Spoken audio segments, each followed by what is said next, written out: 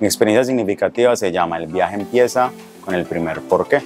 Básicamente esa experiencia surge porque al llegar a la sede de la Esmeralda me encontré con una necesidad enorme de que los niños tuvieran un proceso de liderazgo, de autonomía, de participación, de ayuda y de cooperación en la que pudieran expresar sus ideas, compartirlas con los demás y explotar o explorar todos esos talentos que ellos tenían. Esto lo hicimos a través de metodologías o de actividades como el Pregúntelo sin pena, que era un buzón de preguntas donde todos podíamos compartir esas dudas que teníamos de forma anónima o de forma pública como tal. Eh, las iniciativas como las actividades de conjunto en las que ellos se apoderaban de sus propias clases, de los temas que ellos decidían, los comités de trabajo y demás actividades que hicimos relacionadas al desarrollo de la autonomía y de la participación.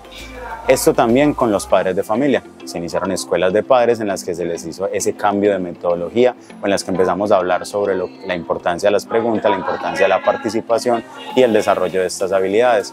donde tanto con los padres y con los estudiantes pudimos iniciar a desarrollar todo lo que necesitábamos para que ahora los niños tuvieran procesos culturales, deportivos, se presenta poesía, trova, obras de teatro, hay demasiadas preguntas, se tratan temas de diversos intereses, incluso avanzados respecto al grado en el que se encuentran y demás cosas que realmente pues, son como lo más importante de esta iniciativa, que los niños ahorita tienen la autonomía suficiente y pueden desarrollar todas esas temáticas que antes se cohibían, no podían hacer.